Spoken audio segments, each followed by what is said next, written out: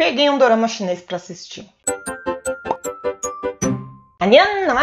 Quem é mais antigo do canal já sabe e quem é novo vai ficar sabendo agora. Várias vezes eu já recebi a mesma pergunta aqui nos comentários. Manu, por que, que você não traz dorama chinês pro canal? E não, a resposta não é porque o nome do canal é coreanismo e não chinismo ou pequinismo ou sei lá. Já existem alguns vídeos aqui no canal que falam de doramas japoneses, chineses e até mesmo tailandeses. E isso até é uma necessidade para o crescimento do canal. Como eu já disse aqui antes, eu quero cada vez trazer mais conteúdos diferentes e conteúdos novos aqui pro canal e apresentar coisas novas para vocês.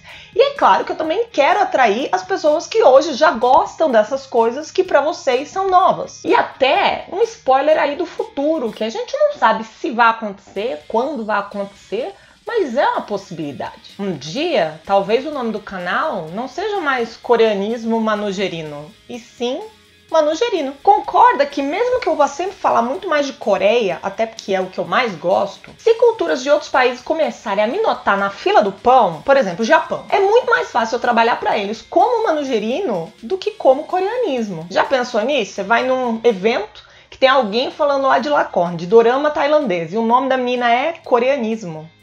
Não sou esquisito, mas isso tudo é um pensamento, né? E não é pro agora, porque hoje coreanismo é um nome que se encaixa muito bem nesse canal e é um nome que eu amo muito, então vai ficar aqui por um bom tempo. Mas a gente tava falando de quê? Ah, é, de porque que tem pouco dorama chinês aqui nesse canal. Então não, não é porque o nome do canal é coreanismo. Tem pouco dorama chinês aqui nesse canal por conta da maldição do dorama chinês. E calma, vou te contar aí que maldição é essa. Mas antes, eu quero que você curta o vídeo e se inscreva no canal. Claro, essas duas coisinhas, gente, ajuda muito no crescimento do canal. Ajuda que mais pessoas cheguem aqui, pessoas que nunca vieram no coreanismo, cheguem aqui. Então, bora lá. No computador, role a tela para baixo, clique clique no botão vermelho, no sino, na palavra todas e isso fez você se inscrever no canal. E agora você clica no dedão para cima e pronto, já curtiu o vídeo.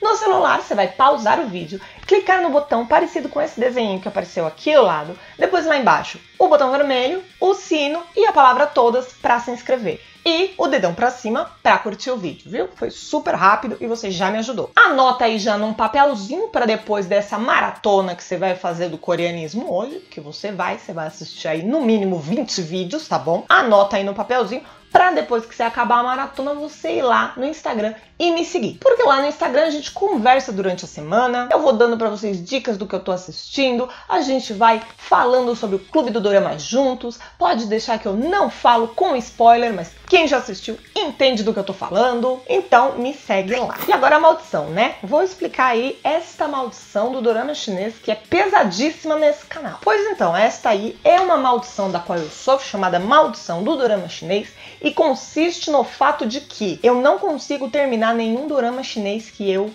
começo. Na verdade, eu já consegui terminar dois. Um era muito ruim, só que era um short dorama, eu nem lembro o nome. E como era short dorama, quando eu percebi que era muito ruim, já tinha acabado, glória a Deus. O outro é Minha Princesinha, que tem resenha aqui no canal, vou deixar no card. Minha Princesinha é um dorama com o ator Mike D'Angelo, que é um ator tailandês, mas ele também faz doramas chineses. E esse dorama Minha Princesinha é muito bom, bem brega mesmo, bem mocinha, apaixonada, rica, mimada. É uma maravilha, você ri muito da cara dela. E é isso, como eu disse, tem resenha aqui no canal. Como foi o único que terminei, ele merece ser recomendado. Mas de resto, minha filha, nada. Não terminei mais nada. E aí, essa semana eu resolvi que eu ia tentar de novo. Fiquei procurando o que, que eu ia assistir. Eu pensei, vou pegar ali um terror, vou pegar um mistério. Mas é para roubar? É pra roubar, Manuela? Se for pra roubar, nem começa. Então não, fui lá, peguei um romance meloso mesmo, falei, se é pra gente ver, nós vamos ver o negócio que é pra gente ver. Estou falando de Amor Não Correspondido, dorama original da Netflix, de 24 episódios de meia hora cada. Estrelando Zhao Shun Han, que ano passado também esteve aí num dorama chamado You Are My Answer, não conheço. E Zuya Manzi, que ano passado também esteve num dorama chamado Standing in Time, que eu também não conheço. Esse dorama é baseado num livro de mesmo nome da autora Bai Wei Shangan e eu não consegui achar esse livro traduzido para português, eu acho que ainda não tem. E é uma história que aparentemente a China gosta bastante, viu? Porque mal saiu aí essa versão da Netflix de 2019, já tá programada mais uma versão para esse ano de 2020. Mas é exatamente a mesma história, não é continuação não, é exatamente a mesma história, é versão mesmo, com outros atores. E tá planejada para estrear agora em fevereiro na Mango TV. Já vamos aqui deixar uma coisa clara para você poder entender essa resenha. O meu chinês é tão fluente quanto o meu javanês, então quando você for assistir o dorama, provavelmente você vai entender que eles falam nomes que não são os nomes que eu tô falando. Mas não é que eu confundi os nomes, eu simplesmente não sei pronunciá-los. Mas você não vai deixar que este detalhe pouquíssimo importante importante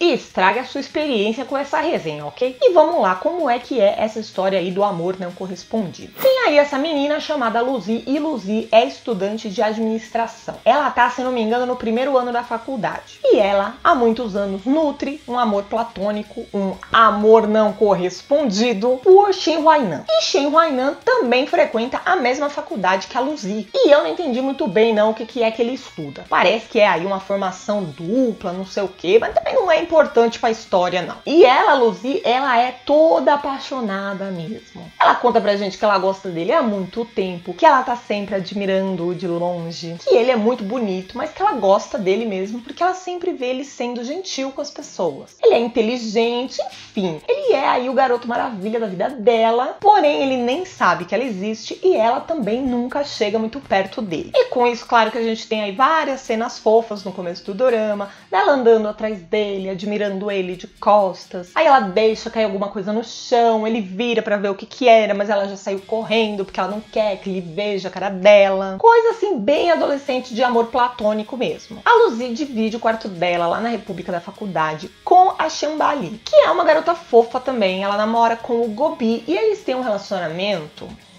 meio bosta. Eu não vou caracterizar como relacionamento abusivo, relacionamento tóxico, nada disso. Que nem todo relacionamento ruim é esse ponto do abusivo e do tóxico. Pelo menos não é isso que eu sinto no relacionamento dos dois até agora, mas é um relacionamento bosta. Os dois vivem se desentendendo. A Shambali vive chorando nessa vida. Vira e mexe o Gobi tá pedindo desculpa de alguma coisa que ele fez. Ou seja, não é um bom relacionamento. Mas o Dorama também não vende esse relacionamento como um bom relacionamento. O drama mostra pra gente que a Luzi, mesmo tendo aí esse relacionamento platônico, né, esse amor platônico, e achando que ela nunca vai ter uma chance com o Shen Huainan, ela ainda assim é muito mais feliz na vida amorosa dela do que a Jambali. Ou seja, o drama deixa claro pra gente que estar com alguém nem sempre quer dizer que você vai estar tá feliz. E que às vezes é muito melhor você estar tá sozinho e estar tá de boa do que acompanhada por algo que não lhe faz bem. Um dia, a Luizy dá um passo a mais aí e interage com o Shen Huainan. E não é nada forçado, como ela fazer um super plano para chegar nele e tal. Não é nada disso. Ela simplesmente vê que ele tá ali precisando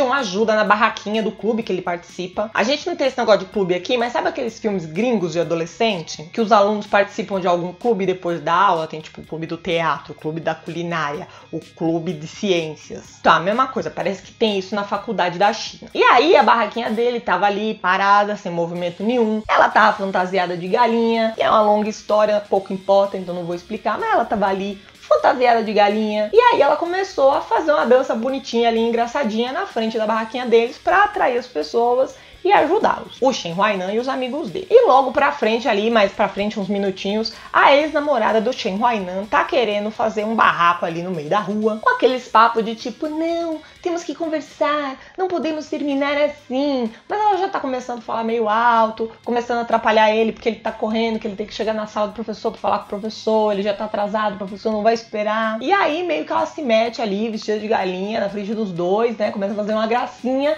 e o Shuei Hainan consegue fugir aí da ex-namorada e ir atrás do tal do professor. E como ela tá ali com aquela cabeçona de galinha, né? Ele só acaba vendo quem que ela é mais pra frente. E como agradecimento, ele chama ela para eles irem tomar um café. Mas o café é só um café mesmo. Nesse café a gente percebe que a Luzi é uma menina que tem aí esse amor platônico, é uma menina que é tímida na frente dele, que ela acha mesmo que ela nunca vai ter uma chance com ele, mas ela não é aquela tímida caricata. Ela consegue aí conversar normalmente com ele e eles começam a conversar da época do colégio. E aí eles conversam sobre terem ido pro mesmo colégio e ela tenta explicar para ele quem que ela era, para ver se ele se lembra dela. Mas ele não lembra. E ele não lembra, não é por maldade, não é porque ele tá humilhando ela, ou não é porque ele é o cara super popular que todos conheciam, mas ele não se importava com ninguém. Não é isso. Ele simplesmente não lembra, assim como você também não lembra todo mundo que estudou com você. Você lembra? Porque eu não lembro. Talvez você estudou comigo, tá me assistindo, um beijo para você, mas eu não lembro. Mas enfim, não importa que ele não lembra dela, porque daí para frente eles começam a interagir. Como pode acontecer, claro, como quaisquer duas pessoas que se conhecem. Não é nada forçada essa interação deles. Eles começam ali a interagir,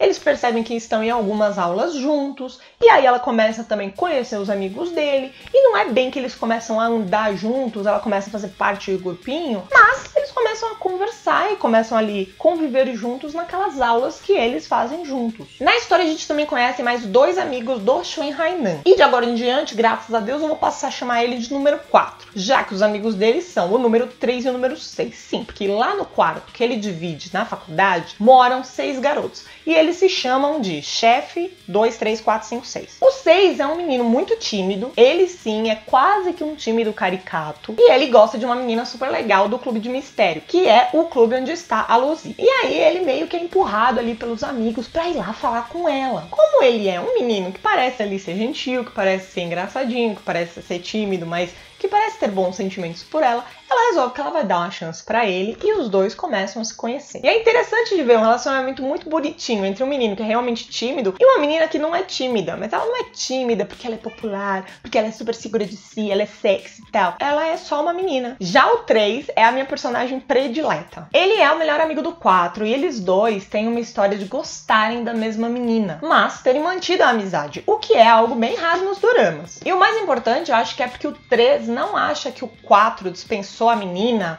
porque o 3 gostava dela. Ele sabe que o 4 dispensou a menina porque o 4 não gostava dela. E eu acho que só essa relação aí já mostra muita coisa legal. Mostra que duas pessoas podem sim acabar se apaixonando pela mesma pessoa. E isso não significa que elas têm que virar inimigas e que uma é vilã e a outra é mocinha e que eles vão guerrear até a morte, não sei o que. Não significa que essas pessoas têm que se odiar. Mostra também que as pessoas não são coisas, as pessoas não são propriedades e por isso elas não podem ser roubadas. Não existe existe isso de que o ciclano roubou fulano de tal do Beltrano. Não existe isso. As pessoas têm escolhas e às vezes a escolha não bate com o sentimento da outra. E uma coisa que eu gosto do 3 é porque ele é um cara bem real. Ele tem os momentos de segurança dele, onde ele sabe que ele não é inferior ao 4 só porque, sei lá, a menina gosta do 4 e não do 3. Mas ele tem também os seus momentos de insegurança. E aí ele acaba se comparando com o 4, que é o melhor amigo dele, e acaba se sentindo inferior porque ele não conquistou as mesmas coisas, porque ele não chegou nos mesmos lugares. Mas em momento algum ele fala aquilo com o peso de inveja.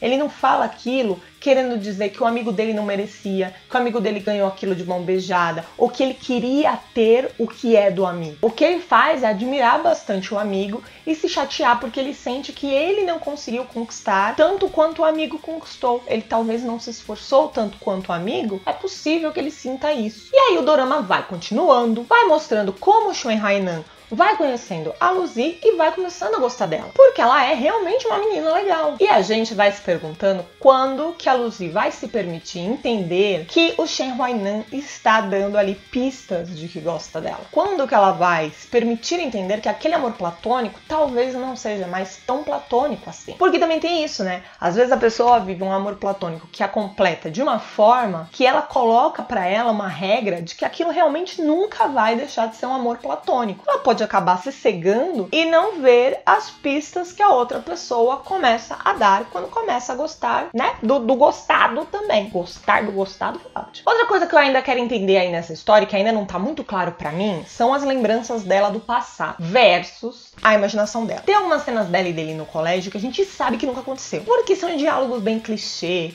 porque é aquela coisa meio fanfic de adolescente. E porque são cenas onde ela confessa o amor dela para ele. E aí a gente sabe que não é real, porque ela nunca confessou o amor dela para ele. Então a gente sabe que aquilo é ela escrevendo o diário dela, porque no diário dela, ela não escreve o dia a dia dela. Ela escreve histórias sobre o que ela sente por ele e ela escreve ali todo o sentimento dela. Mas algumas outras cenas ficam ainda muito confusas na minha cabeça, pelo menos. Como tem uma parte lá que eles trocam recados pelo vidro e aí ela não sabe direito o nome dele e ele não sabe quem ela é. E aí eles tentam marcar um encontro, mas o encontro é um desencontro.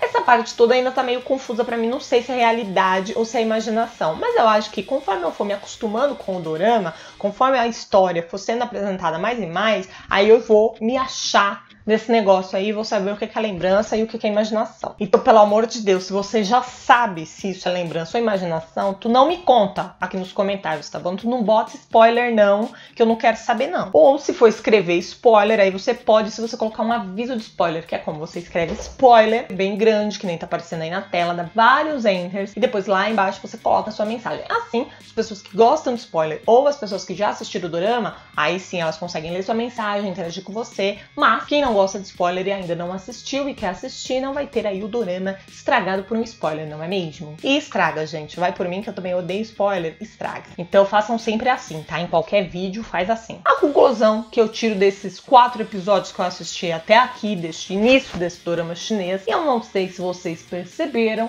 mas é que eu não tenho nada ruim para falar, não. Eu não tenho nada para criticar. Eu realmente não achei nada para criticar. Eu não achei problemas na história. E não é só problemas assim de romantizar relacionamento tóxico, de machismo, de gordofobia. Não é só esses problemas que eu não achei. Eu não achei problema de roteiro. Eu não achei problema na personalidade das personagens.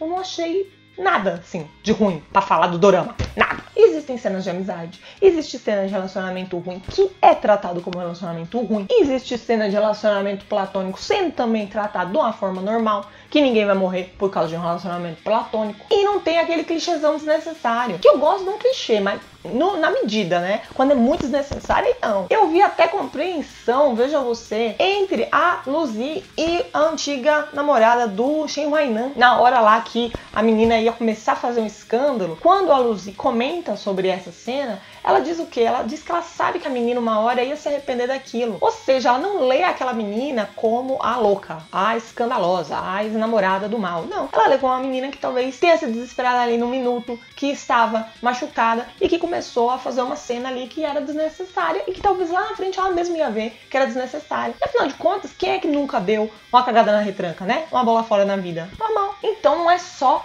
que eu não vi coisas ruins nesse dorama. Eu vi muitas coisas boas. E eu realmente, realmente me interessei pela história dessa vez. Tanto que eu vou agora terminar esse vídeo e vou editar primeiro e depois eu vou assistir mais episódios, porque eu tô com muita vontade mesmo de saber qual que é o fim dessa história de amor não correspondido. Como que é, quando que é que a Luzi vai reparar que o Shen Hainan tá gostando dela. Será, menina, que eu encontrei o meu segundo dorama chinês para eu recomendar? espero que sim, viu? Espero que essa história que boa até o final. E se você quer saber o que, que eu vou achar do fim dessa história, você me segue lá no Instagram. Que lá no Instagram que eu vou colocar o fim desse negócio, entendeu? É lá que eu vou dar meu depoimento. Porque eu acho que não vai ter mais muita mensagem incrível assim nesse dorama pra eu vir aqui pensando alguma outra coisa miraculosa, não é mesmo? Para passar para vocês. Eu acho que todas as boas mensagens que esse dorama tem pra passar, ele já passa aí de começo. Mas se eu descobrir que há algo mirabolante que eu posso vir aqui e falar sobre algo que eu não falei ainda nesse vídeo, ou se esse dorama acabar tornando um não assista esse dorama, né? Porque a gente nunca pode subestimar a capacidade do ser humano de fazer bosta. Então vai que estraga o dorama lá na frente, aí sim eu volto e faço um novo vídeo. Mas por enquanto, fica aí esta primeira impressão de amor não correspondido, dorama chinês que está disponível na Netflix. Afinal, é um original Netflix. Enfim, espero que vocês tenham gostado aí do vídeo e se forem assistir Amor Não Correspondido por conta dessa resenha, me contem isso aqui nos comentários que eu adoro saber esse tipo de coisa. Se você já viu o Dorama, também conta aqui nos comentários a sua impressão. Se você quer falar spoiler, fala spoiler daquele jeito que eu falei. Se você não quer falar spoiler, não fala também, mas me diz aqui embaixo o que, que você achou desse Dorama. Não se esqueça de curtir o vídeo, isso é super importante para o crescimento do canal. Se inscreva no canal e ative as notificações para não não perder nenhum vídeo. Os vídeos aqui saem sempre às quartas e domingos às 7 horas da noite. Agora vai vir uma playlist aqui do lado com tudo que eu já falei de dorama em 2019. Mas, quando a gente tiver vários doramas chineses aqui no canal, eu troco para uma playlist de dorama chinês. Então você olha aí do lado, vê qual das duas playlists que está disponível neste momento, clica lá e vai ver, com certeza só tem vídeo bom. Vejo você nesses próximos vídeos. Nada não é